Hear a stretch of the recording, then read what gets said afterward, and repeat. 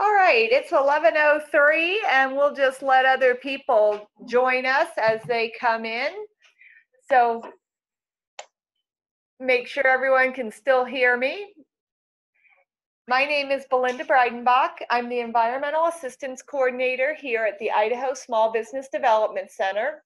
And I want to make sure that everyone knows about the Volkswagen settlement in that Idaho has funds available to replace older diesel trucks.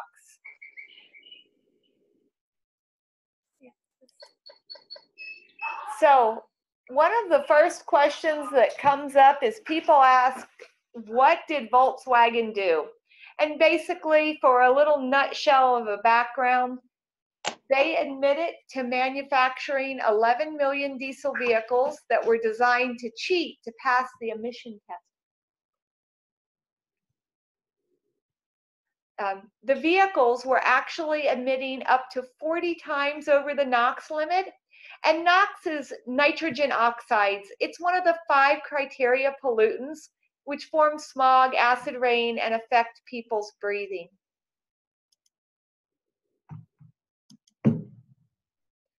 So, oops.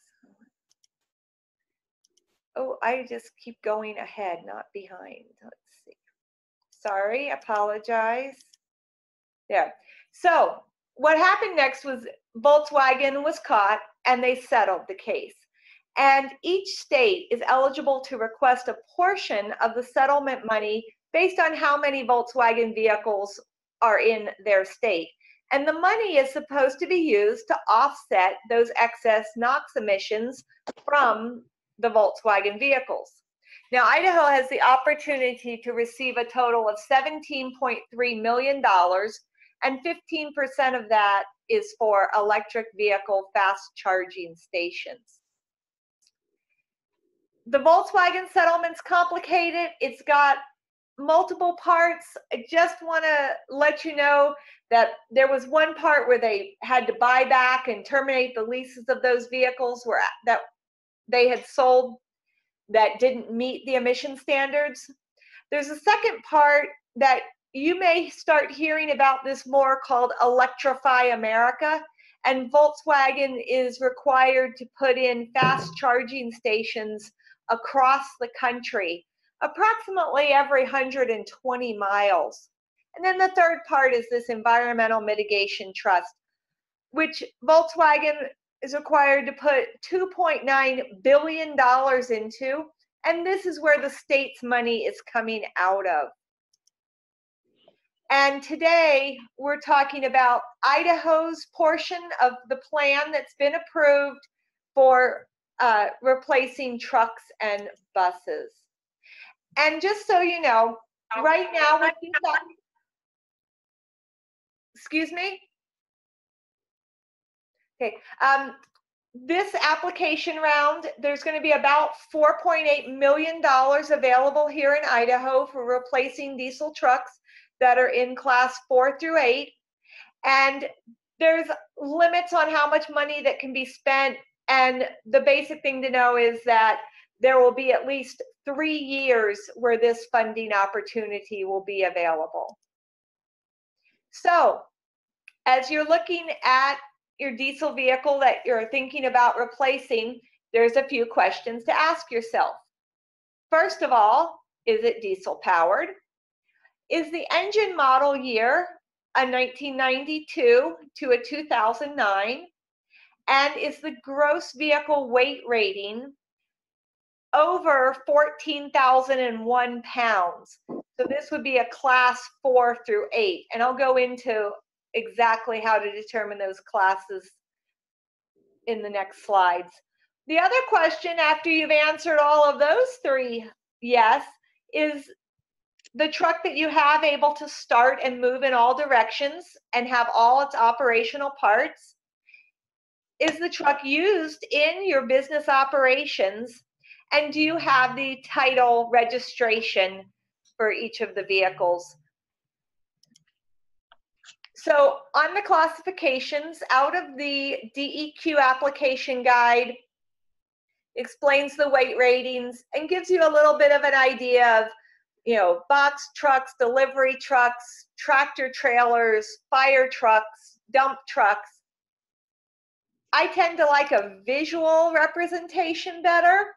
So class one, two, and three are not eligible.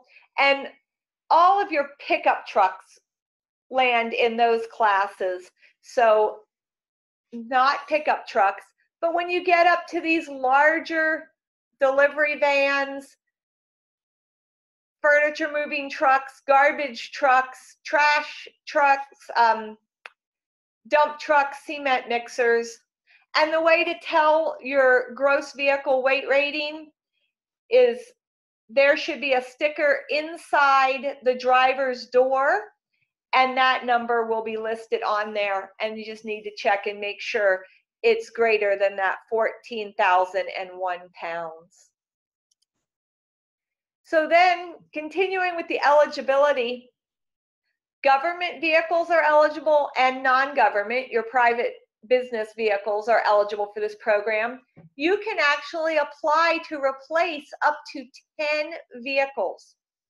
And DEQ is going to select applications to award reimbursement for a portion of those. Now, there are also some airport vehicles, train, and port vehicles that are eligible for this program, but I'm not really going to go into those because I'm assuming most small businesses have trucks and not trains. So then the next thing to look at is your new vehicle that you want to purchase. The engine model year of it, basically for this year's round, has to be a 2019 or 2018 model. And the truck must be a similar size and used for the same purpose as the vehicle that you are replacing. And basically that replaced vehicle must be scrapped. There's a whole bunch of detail on exactly how, and I will be sending out the, the PDF of the slides so that you can read those details. You need to have the purchase order for that new vehicle going in within 90 days of when you are selected and receive an approval letter that you are going to be given this award the purchase of the vehicle cannot predate the approval letter. So you have to wait to, to purchase or to commit to purchase to the new vehicle. And all projects must be completed within three years. This just helps cover you and the, the funding through the state if the delivery of that vehicle starts getting pushed off later and later. And then it's also very important to know that the funds are going to be provided after the new vehicle has been purchased, your existing vehicle has been appropriately scrapped, and all the required documentation is submitted to DEQ. And then the ownership of that new vehicle you must keep it for at least three years. Also know that DEQ has reserved the right to come and check out your new vehicle and to confirm the documentation. And of course, you'd probably want to show it off anyway. So there is fine print. It's all out there in the, uh, the DEQ website. So the next big question is how much money can I actually receive back? And I want you to know this has been updated. When the application first came out, there were caps limiting the amount of money you could receive back. All of those caps are gone. And so, for example, if you were to replace your diesel truck with a new diesel truck, then you could get 25% of the cost of that vehicle.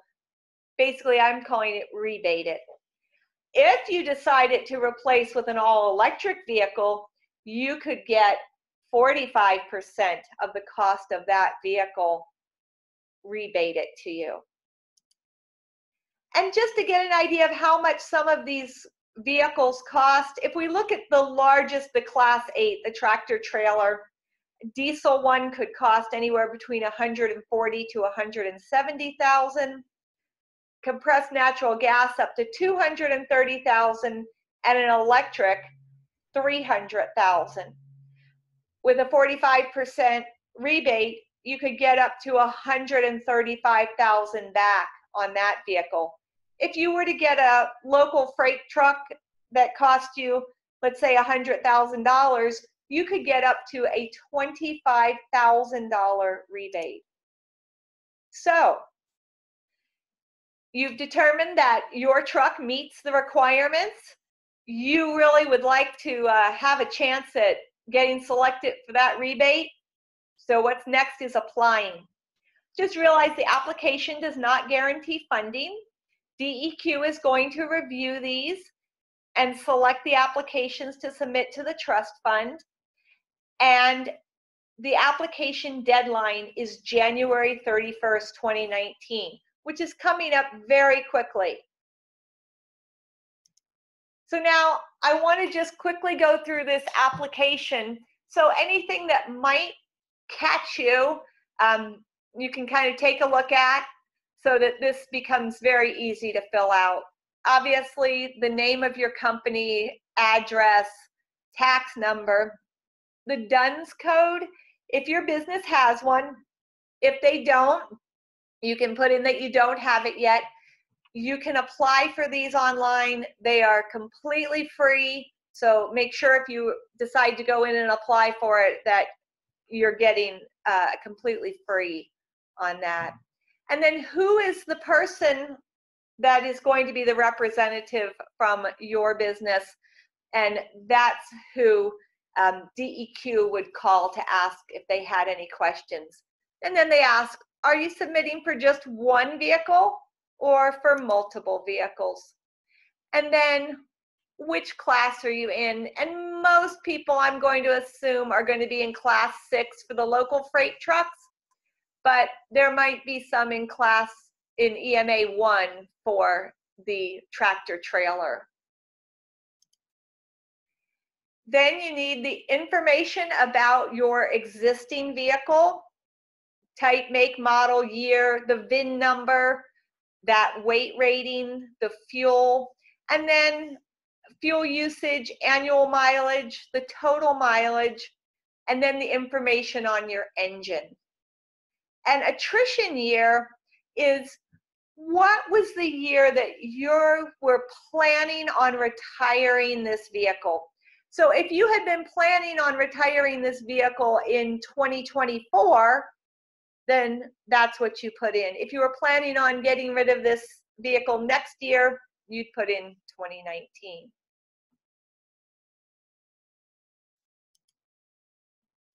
Then you're going to have to decide what is the new vehicle you want.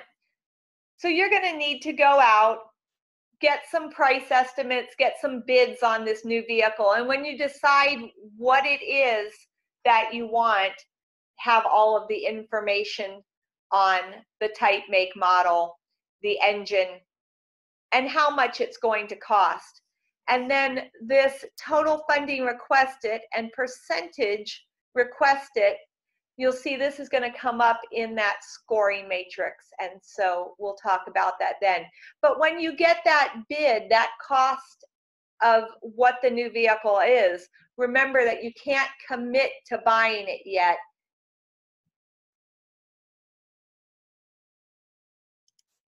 So then if you have a non-road vehicle that you are looking at, um, similar information, there is some engine tier, and there's going to be a slide at the very end that um, I'll be able to send you in in the list of slides so you can determine what your engine tier is if you are applying for a non-road vehicle.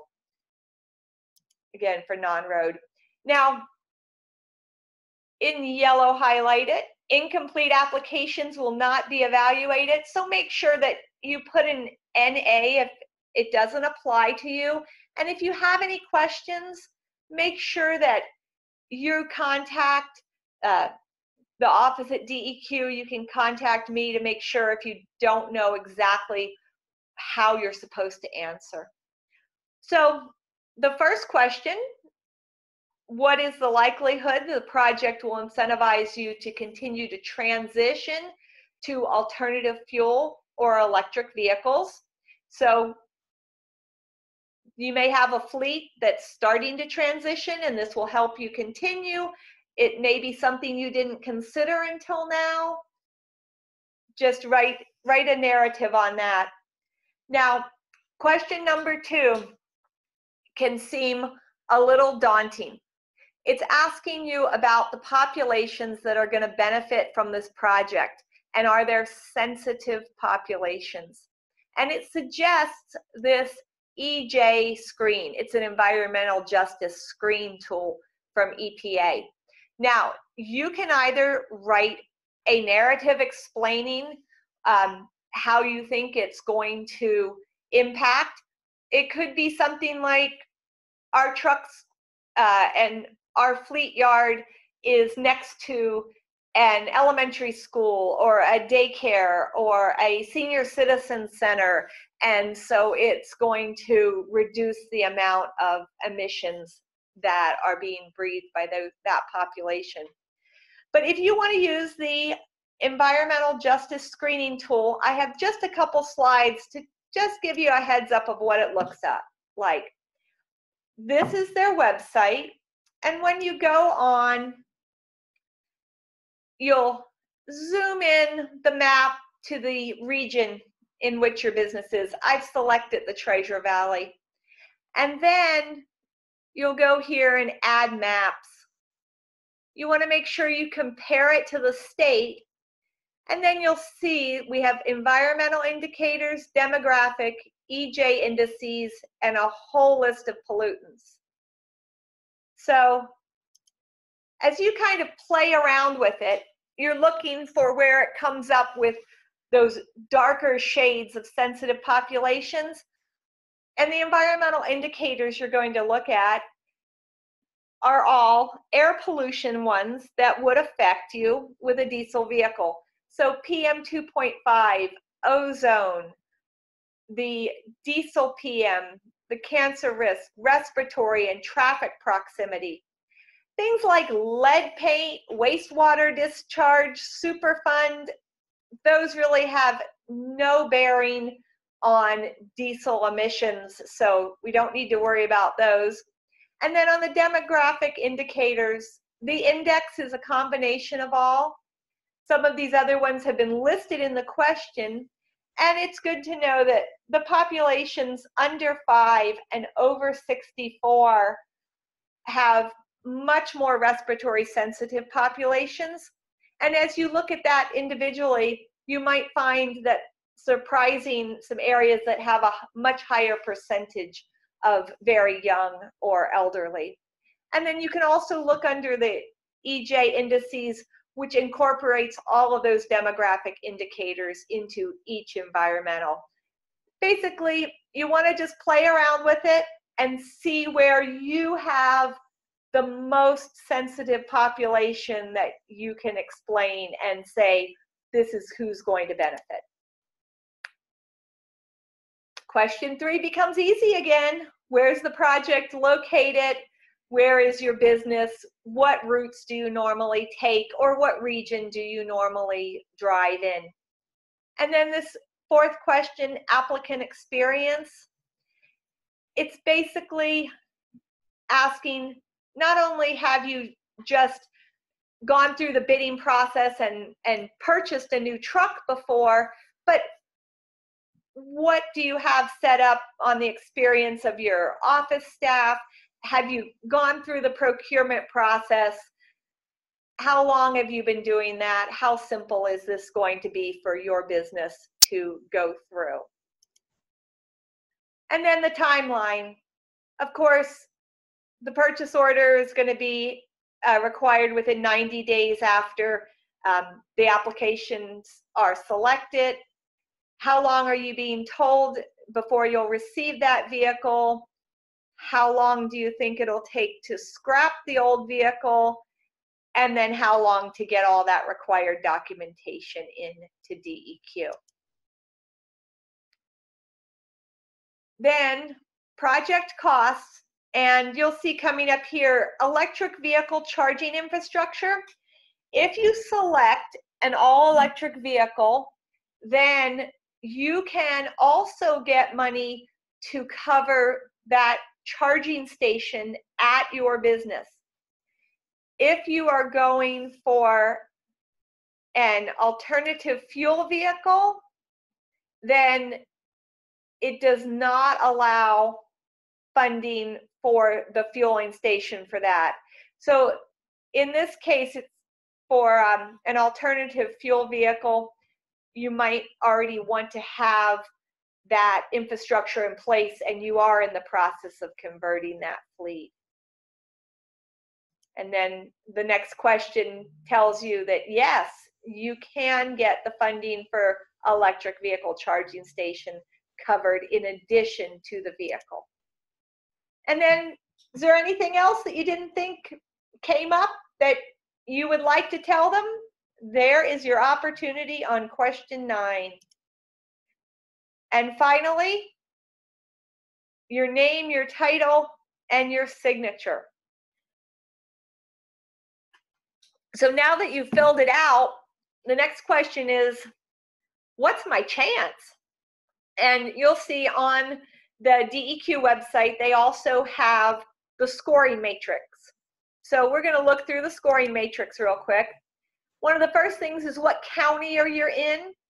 Based on these air quality priority counties and NOx emission priority counties, you can get far more points just based on where you're located. Then that information about the old vehicle that you had and the new vehicle is going to be put into a little program and come out with a cost per ton for that NOx reduction. And then all the applications that will be received will be put in order and the top third get the highest points. Now, here's that kind of odd question on voluntary funding. So you've added up all of your points. You have applicant experience, and you're seeing how close you think you're going to get to 100. And you really want to get this award uh, for this rebate, but you think maybe you need a, a few more points. You can say, well, instead of 20 per 25% back, I'd be willing to take only 25, 20%, 5% less and increase the amount of points that I'm getting. It's something you have to consider and play around with. But you can add this up, see how close you guess you might come to 100 to give yourself an idea of how good a chance your application has, which is much nicer than dropping it into the black hole. and the application website is here. You can um, simply also search on your web browser um, Idaho DEQ and VW, and this page will come up. The application and the application guide seem to have a lot of trouble with some of the browsers, especially Chrome. So if you get any type of error message, try using Internet Explorer for some reason. That is working better. And very important, the deadline is January 31st. And it's estimated that those award decisions will be announced in April, which is a pretty quick turnaround, which is very nice. So one final thing I want to tell you about, if you cannot afford to replace a vehicle now, that is just not in the company budget, there is a different program out there that you can look into. It's Diesel Emission Reduction Act option for class five through eight. So class four vehicles are not eligible, but it's a diesel retrofit. There's several different mufflers that can be put on to replace low rolling resistance tires, aerodynamic foils. These changes will improve the fuel efficiency of your trucks and 100% of the cost is covered by DEQ. So just be aware that other option is out there. And if you have questions, my contact information here at the Idaho Small Business Development Center. And I also have the contact information for Michael Brown at DEQ, who is running the VW diesel replacement program. So are there any questions? Hi, this is Anne. I was just checking to see if you could put the deck on the on Center IC's library. Yes, yes, we will do that. Thanks. And Michael Brown has his hand raised. Yep. Can you hear me, Belinda? Yes, I can. Okay, very good. Um, there are a couple things on the application I wanted to sort of point to. Um, and one of them is kind of a significant change. If you could go back to um, where you have question number six. Okay. And this is this is where um, provide the project cost.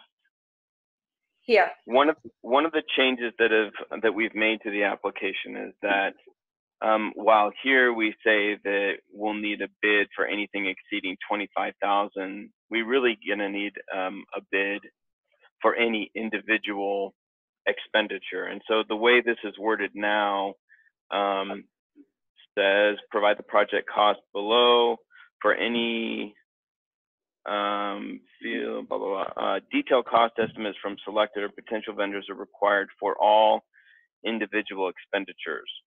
Uh, attach a copy of the manufacturer vendor bid estimate for each vehicle replacement. And so while before we indicated that it was for anything over 25,000, we really need it for any any vehicle expenditure. Okay, so I will make sure I get this slide updated before I send that slide deck out to anyone. Thank you. Okay.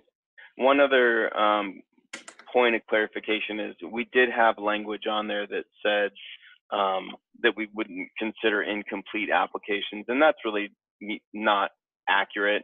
I mean, if there's a field where information is missing and it seems pertinent, I'll get in contact with whomever is listed as the point of contact on the application for clarification to, to get whatever information is needed.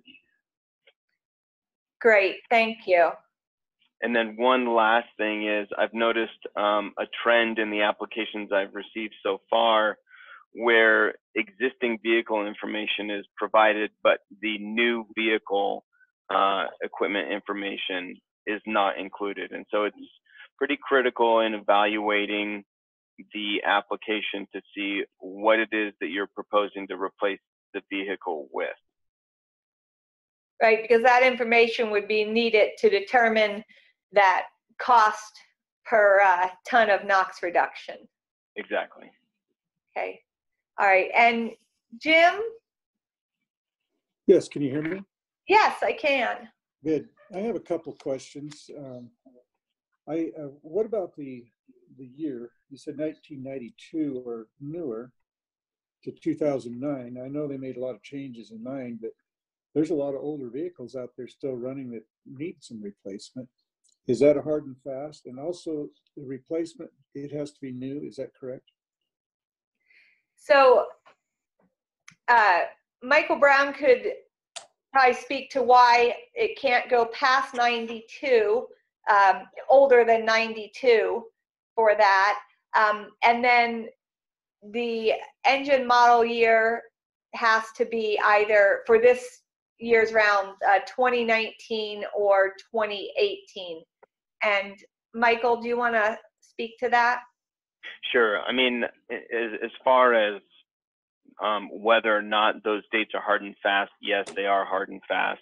in terms of answering the question as to why, I can only speculate that they want to replace vehicles that have a sufficient existing useful life to have a benefit of reducing emissions. So if a vehicle is basically going to die in a year, they don't really want to replace that uh, because you don't have the potential to offset the emissions um, compared to a vehicle that has more useful years left. And so that's determined based on however that's determined. I don't really know the reason why, but they picked those dates and those are simply dates that the trust will fund.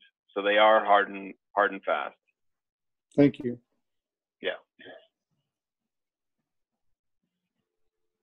Are there any other questions? I had a question. How many applications have you received so far? I've received about four. Okay. And while I'm su- surprised by that, um, I fully expect most applications to come in at- within the last two weeks or so.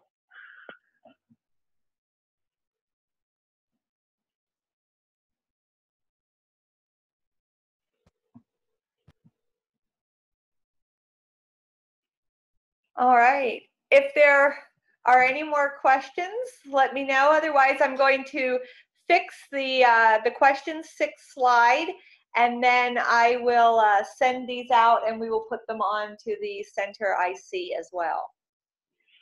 And Belinda, I'll just also offer up that the um, corrected application is on our website for download.